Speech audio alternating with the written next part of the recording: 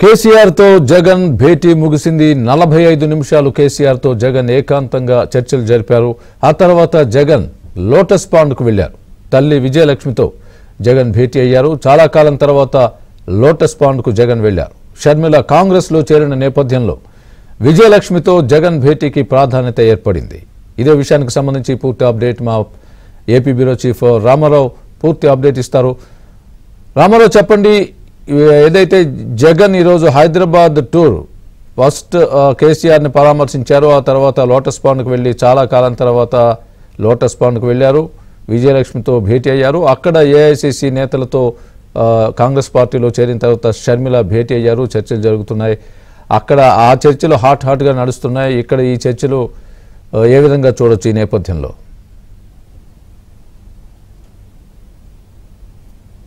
స్వామి సుదీర్ఘ విరామం తర్వాత ఏపీ సీఎం జగన్మోహన్ రెడ్డి తెలంగాణ మాజీ ముఖ్యమంత్రి కేసీఆర్ని కలుసుకునేందుకు హైదరాబాద్ వెళ్ళారు గతంలో ఆయన ఎన్నికలైపోయిన వెంటనే కూడా ఫలితాలు వచ్చిన తర్వాత బాత్రూంలో జారిపడి శస్త్రచికిత్స తర్వాత ఫోన్లో పరామర్శించడమే కానీ నేరుగా వెళ్ళి ఈ రోజు వరకు కూడా జగన్ కలవలేదు. ఈరోజు జగన్ వెళ్ళి కలిసి దాదాపుగా నలభై ఐదు నిమిషాల సేపు ఆయనతో ఏకాంత భేటీ నిర్వహించారు. ఈ భేటీలో ప్రధానంగా ఆంధ్రప్రదేశ్లో జరగబోతున్న ఎన్నికలు తెలంగాణలో ఎన్ని తెలంగాణ ఎన్నికల్లో అక్కడ బీఆర్ఎస్ పరాజయం ఆంధ్రాలో తీసుకోవాల్సిన జాగ్రత్తలపై చర్చించడంతో పాటు ప్రధానంగా ఆంధ్రప్రదేశ్లో ప్రస్తుతం ప్రభుత్వంపై ఉన్న వ్యతిరేకతను ఏ విధంగా అధిగమించాలి అనే అంశంపై కూడా ప్రధానంగా చర్చ జరిగినట్టుగా కూడా మనకు సమాచారం అందుతుంది. ఇప్పటికే ఆంధ్రప్రదేశ్లో తెలుగుదేశం జనసేన పొత్తుతో పాటు బీజేపీ కూడా పొత్తులో కలుస్తుంది అని చెప్పి ఒక ప్రచారం జరుగుతుంది. అయితే ఈ ప్రచారం నిజం కాదని మరికొందరు చెబుతున్నప్పటికీ కూడా జనసేన టీడీపీ పొత్తు మాత్రం ఆంధ్రప్రదేశ్ రాజకీయాల్లో కీలకమైన పరిణామంగా చూస్తున్నారు. ఈ అంశాలకు సంబంధించి రానున్న ఎన్నికల్లో ఎటువంటి వ్యూహంతో ముందుకు వెళ్ళాలి? హైదరాబాద్లో ఉండే సెటిలర్స్ ఎవరైతే ఉన్నారో వాళ్ళని ఏ విధంగా ఉపయోగించుకోవాలి? ముఖ్యంగా ఎవరైతే మన వైసీపీకి అక్కడ బీఆర్ఎస్కి సపోర్ట్ చేశారో వైసీపీకి సం- సంబంధించిన వాళ్ళు ఇక్కడ వాళ్ళు ఆంధ్రప్రదేశ్లో ఎలా సపోర్ట్ చేయాలి అనేది బీఆర్ఎస్కి సంబంధించిన కొంతమంది నేతలు కూడా ఆంధ్రప్రదేశ్కు వచ్చి ఆయా సామాజిక వర్గాలను రెండు వేల పంతొమ్మిది ఎన్నికలకు ముందు తలసాని శ్రీనివాస్ యాదవ్ అప్పుడు మంత్రి. ఆయన కూడా వచ్చి ఇక్కడ వైఎస్ఆర్ కాంగ్రెస్ పార్టీకి అనుకూలంగా ప్రచారం చేశారు. ఇప్పుడు అలా ఎవరైనా సరే నేతలు వచ్చి ఇక్కడ ప్రచారం చేయటం ఇటువంటి అంశాలన్నిటిపై కూడా చర్చించినట్టు తెలిసింది. తాజాగా తన సోదరి వైఎస్ షర్మిల ఈరోజు కాంగ్రెస్ పార్టీలో చేరటం ఆమె నిన్న ఇక్కడికి వచ్చి తాడేపల్లి ప్యాలెస్లో సీఎం జగన్కి తన కుమార్తె వివాహానికి కుమా కుమారుడి వివాహానికి రావాలి అని చెప్పి వెడ్డింగ్ కార్డు ఇచ్చి వెళ్ళిపోయారు. కేవలం ఇరవై నిమిషాలు మాత్రమే షర్మిల జగన్ నివాసంలో ఉన్నారు. ఆ తర్వాత ఆమె వెళ్ళి కేసరపల్లిలో ఉండే విల్లాస్లో దాదాపుగా రెండు గంటల సేపు అక్కడ ఉండి నైట్ తొమ్మిది గంటల ఫ్లైట్కి ఢిల్లీ బయలుదేరి వెళ్ళారు. అంటే సొంత అన్న ఇంటిలో దాదాపుగా ఇరవై నుంచి ఇరవై మూడు నిమిషాలు మాత్రమే ఉన్న షర్మిల ఆ తర్వాత అక్కడికి వెళ్ళటం ఈరోజు ఉదయం కూడా అక్కడ కాంగ్రెస్ పార్టీలో చేరటం. ఈ విషయాలన్నీ కూడా ఆంధ్రప్రదేశ్లో వైఎస్ఆర్ కాంగ్రెస్ పార్టీలో తీవ్రంగా కాకరేపుతున్నాయి.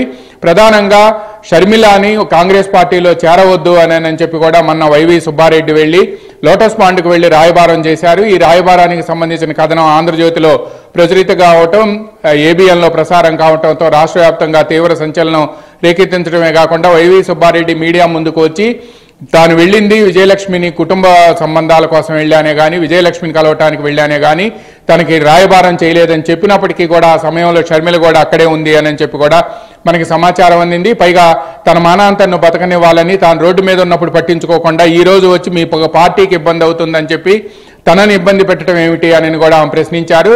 తాను తన దారి తాను చూసుకుంటున్నాను అని చెప్పి కూడా ఆమె స్పష్టం చేశారు. ఈ నేపథ్యంలోనే ఈరోజు కొద్దిసేపటి క్రితం కేసీఆర్ని పరామర్శించిన అనంతరం నేరుగా వెళ్ళి తన తల్లి లో విజయలక్ష్మిని లోటస్ పాండ్లో జగన్ కలిశారు. ఆమెతో భేటీ అయ్యారు. ప్రధానంగా నిన్న షర్మిల వచ్చి కార్డు ఇచ్చి వెళ్ళటం అంతకుముందు జరిగిన రాయబారం ఈరోజు కాంగ్రెస్ పార్టీలో చేరటం ఆంధ్రప్రదేశ్ కాంగ్రెస్ పార్టీ అధ్యక్షురాలుగా షర్మిల బాధ్యతలు స్వీకరించబోతున్నారు అని కూడా ప్రచారం జరుగుతుండటంతో పాటు ఈరోజు ఢిల్లీ నుంచి వస్తున్న వార్తలు మాత్రం ఆమె త్వరలోనే రేపో మాపో ఆంధ్రప్రదేశ్ కాంగ్రెస్ పార్టీ అధ్యక్షురాలుగా బాధ్యతలు స్వీకరించబోతున్నారనే సమాచారం కూడా అందుతుంది. ఈ పరిణామం మొత్తం కూడా ఇక్కడ వైఎస్ఆర్ కాంగ్రెస్ పార్టీకి తీవ్ర ఆందోళన రేకెత్తిస్తుంది. ప్రధానంగా తమకు సంబంధించి ఎవరైతే వైఎస్ అభిమానులు ఇప్పటి వరకు కూడా జగన్తో ఉన్నారో వాళ్ళంతా కూడా వైఎస్ షర్మిల వైపుకు వెళ్ళే అవకాశం ఉంది. రానున్న ఎన్నికల్లో వైఎస్ఆర్ కాంగ్రెస్ పార్టీకి ప్రభుత్వానికి ఇప్పటికే ప్రజల్లో తీవ్ర వ్యతిరేకత ఉండటంతో ఆ ఉన్న ఓట్లు కూడా అటువైపు వెళ్ళటం ఓట్లు చీలి అటువైపు వెళితే మాత్రం డౌన్ ఫాల్ చాలా ఎక్కువగా ఉంటుంది అని చెప్పి ఇప్పటికే ప్రభుత్వంపై ఉన్న వ్యతిరేకత పలు సర్వేల్లో కూడా గతంలో యాభై ఒక్క శాతం రెండు వేల పంతొమ్మిది ఎన్నికల్లో వస్తే ఈసారి నలభై శాతానికి మించి ఓట్లు రావు అని అని చెప్పి అదేవిధంగా జనసేన టీడీపీ ప్రభు టీడీపీ పార్టీలకు సంబంధించి యాభై మూడు శాతం వరకు కూడా ఓట్లు వస్తున్నాయి అని అని చెప్పి ఇది మరింత పెరిగే అవకాశం ఉంది. ఎలక్షన్స్ వంద రోజుల్లో ఉండటంతో కాలం మరికొంత గడిచే కొద్దీ కూడా ఈ పర్సెంటేజ్ ఆఫ్ ఓట్ పర్సెంటేజ్ ఇంకా పెరుగుతుంది అని కూడా టీడీపీ జనసేనకి అనే ప్రచారం జరుగుతున్న తరుణంలో వెళ్ళి తల్లితో భేటీ కావటం అక్కడ షర్మిలాకు సంబంధి షర్మిల ఆంధ్రప్రదేశ్ కాంగ్రెస్ పార్టీ అధ్యక్షురాలుగా బాధ్యతలు స్వీకరించినప్పటికీ కూడా వైఎస్ఆర్ కాంగ్రెస్ పార్టీ మీద విమర్శలు చేయకుండా చూడాలి అనని లేకపోతే ఆ, కుమార్ కుమార్తె వై- షర్మిల కుమారుడు వివాహానికి సంబంధించిన అంశాలను చర్చించేందుకు కానీ ఎందుకంటే నిన్న వచ్చి కేవలం ఇరవై మూడు నిమిషాలు మాత్రమే తన అన్న వద్ద ఉండి ఆ తర్వాత కేసరపల్లి విల్లాకు వెళ్ళి రెండు గంటల పాటు అక్కడ షర్మిల అదేవిధంగా అనిల్ ఇద్దరు కూడా అక్కడ ఉన్నారు. అయితే వీళ్ళిద్దరూ కూడా ఆ తర్వాత రాత్రి తొమ్మిది గంటలకు బయలుదేరి ఢిల్లీ బయలుదేరి వెళ్ళారు.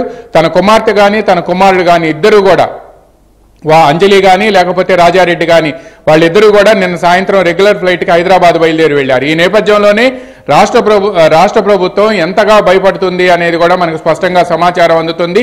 ఇప్పటికే ఆంధ్రప్రదేశ్లో ముప్పై ఏడు మందిని వివిధ నియోజకవర్గాల్లో మార్చి అందులో ఎస్సీ ఎస్టీలు ఎక్కువగా ఉన్నారు అని చెప్పి పెద్ద ఎత్తున ప్రచారం జరగటంతో పాటు వాళ్ళు తిరగబడిన నేపథ్యంలో కూడా ఈ పరిణామాలన్నీ కూడా ఎన్నికలు సమీపించే కొద్దీ జరుగుతున్న పరిణామాలన్నీ కూడా వైఎస్ఆర్ కాంగ్రెస్ పార్టీకి వ్యతిరేకంగా మారుతుండటం పైగా తల్లి చెల్లి ఇది ఇరువురిని కూడా పార్టీతో సంబంధం లేకుండా చేయటం ఆస్తి పంపిణీ చేయలేదు అనే ఒక వివాదం పైగా నిన్న కాకినాడ సభలో పెన్షన్ల పెన్షన్ కానుకు సంబంధించి కాకినాడలో జరిగిన బహిరంగ సభలో కుటుంబాల్లో చిచ్చు పెట్టేందుకు కుట్రలు జరుగుతున్నాయని అని చెప్పి ముఖ్యమంత్రి చేసిన వ్యాఖ్యలు పై కూడా తెలుగుదేశం విరుచుకుపడింది. నీ కుటుంబంలో నువ్వే చుచ్చు పెట్టుకొని వేరే వాళ్ళ మీద నింద మోపటం ఏమిటనని సాక్షాత్తు టీడీపీ జాతీయ అధ్యక్షుడు చంద్రబాబు నాయుడు వ్యాఖ్యానించడం పైగా ఆ తర్వాత తెలుగుదేశం నేతలు కూడా పూర్తి స్థాయిలో విరుచుకుపడుతున్నారు.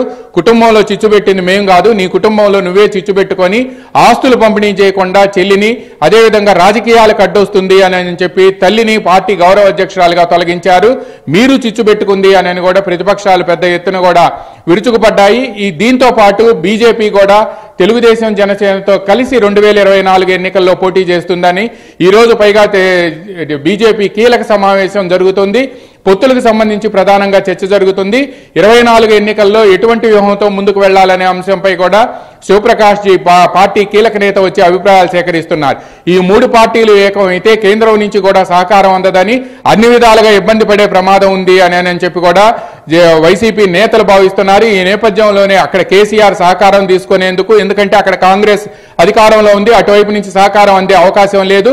పైగా రేవంత్ రెడ్డి ఈ రోజు వరకు కూడా ఆయనతో కలిసిన సందర్భం కూడా లేదు.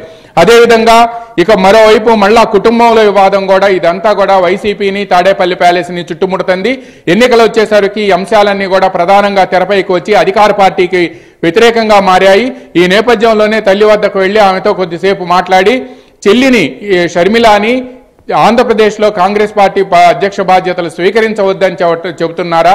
లేక ఆంధ్రప్రదేశ్లో ఒకవేళ పార్టీ బాధ్యతలు స్వీకరించినప్పటికీ కూడా వైఎస్ఆర్ కాంగ్రెస్ పార్టీకి వ్యతిరేకంగా మాట్లాడవద్దు అని నేను చెప్పి చెబుతున్నారా? ఏం జరుగుతుంది? లేకపోతే తన మేనగో మేనల్లుడి వివాహానికి సంబంధించి మాట్లాడుతున్నారా? నిన్న షర్మిల వచ్చినప్పుడు ఏం జరిగింది? ఈ విషయాలన్నీ కూడా ఆమెతో మాట్లాడే అవకాశం ఉంది అని చెప్పి కూడా బయట ప్రచారం జరుగుతుంది. కానీ దాదాపుగా ఇప్పటికే అరగంట క్రితం నుంచి కూడా తల్లితో భేటీ అయ్యారు. అంతకుముందు నలభై ఐదు నిమిషాల సేపు కేసీఆర్తో కూడా ఏకాంతంగా భేటీ నిర్వహించారు.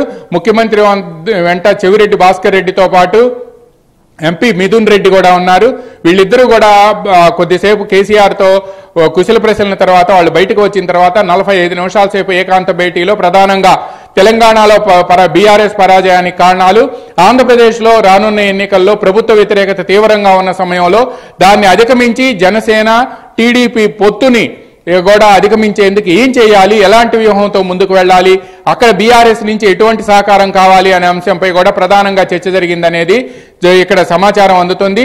ఇప్పుడు తల్లితో జరిగే చర్చలే అత్యంత కీలకంగా అవ్వబోతున్నాయి విజయలక్ష్మి ఇప్పటికే విజయలక్ష్మి వద్దకు వైవి సుబ్బారెడ్డి వెళ్ళినప్పుడు షర్మిలాని కాంగ్రెస్ పార్టీలోకి వెళ్ళవద్దని ఒకవేళ వెళ్ళినా ఆంధ్రప్రదేశ్కు రావద్దని ఆంధ్రప్రదేశ్ కాంగ్రెస్ పార్టీ ప్రచార బాధ్యతలు అధ్యక్ష బాధ్యతలు కూడా స్వీకరించవద్దు అని కూడా చెప్పేందుకు వెళ్ళారు అని కూడా ఆంధ్రజ్యోతిలో వచ్చిన కథనం సంచలనం రేకెత్తించింది. ఈ నేపథ్యంలోనే అప్పుడే షర్మిల నిరాకరించడం ఇప్పుడు తల్లి చెప్పినా కూడా ఆల్రెడీ కాంగ్రెస్ పార్టీలో చేరి ఢిల్లీలో మాట్లాడిన సమయంలో కూడా ఆంధ్రప్రదేశ్లో బాధ్యతలు ఇచ్చినా అండమాన్లో బాధ్యతలు ఇచ్చినా నమ్మకంతో పనిచేస్తానని చెప్పి షర్మిల చెప్పారు. అందువలన షర్మిల ఎట్టి పరిస్థితుల్లో కూడా ఇంకా వెనక్కి తగ్గే అవకాశాలు లేవు. ఎందుకంటే ఆమె ఆల్రెడీ కాంగ్రెస్ పార్టీలో చేరిపోవటం.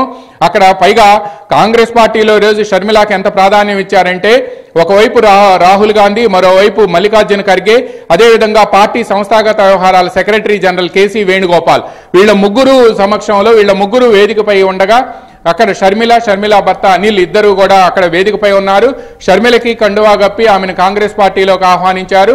ఆమెకు అంతటి ప్రాధాన్యత ఇవ్వడంతో పాటు కాంగ్రెస్ పార్టీలో చేరిన వెంటనే ఆమె మీడియాతో మాట్లాడి ఆ తర్వాత టెన్ జన్పథ్లో ఉన్న సోనియా గాంధీ నివాసానికి వెళ్ళి ఆమెతో కూడా భేటీ అయ్యారు. అంటే షర్మిలకి కాంగ్రెస్ పార్టీలో ఎక్కువ ప్రాధాన్యత ఇస్తున్నారు అనేది కూడా ఆంధ్రప్రదేశ్తో పాటు రెండు తెలుగు రాష్ట్రాల్లో ఉండే ప్రజలందరికీ తెలిసిపోయింది.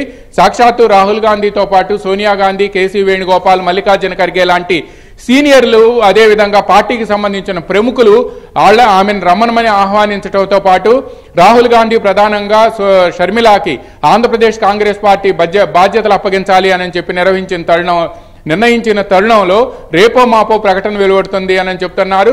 ఈ నేపథ్యంలోనే ఈ పరిణామాలన్నీ కూడా ఆంధ్రప్రదేశ్లో వైఎస్ఆర్ కాంగ్రెస్ పార్టీకి సరిగ్గా ఎన్నికలకు వంద రోజుల ముందు మాత్రం గుండెల్లో రైళ్ళు పరిగెత్తిస్తున్నాయి. మరోవైపు జనసేన కానీ లేకపోతే తెలుగుదేశం కానీ ప్రచారంలో కానీ లేకపోతే సభల్లో కానీ పార్టీకి సంబంధించిన ఏర్పాట్లలో కానీ దూసుకుపోతున్నాయి. దీంతో పాటు ఇక వైఎస్ఆర్ కాంగ్రెస్ పార్టీలో కేవలం ముప్పై ఎనిమిది స్థానాలు మొదటి విడతలో పదకొండు రెండో విడతలో ఇరవై ఏడు స్థానాలు. పైగా అందులో బీసీ ఎస్సీ ఎస్టీ మైనార్టీలను ఎక్కువగా మార్చడంతో తీవ్ర కల గందరగోళం చెలరేగింది ఈ పరిణామాలన్నిటి నేపథ్యంలో కేసీఆర్తో భేటీ అదేవిధంగా తల్లి విజయలక్ష్మితో భేటీ మాత్రం రాజకీయంగా ప్రాధాన్యత సంతరించుకో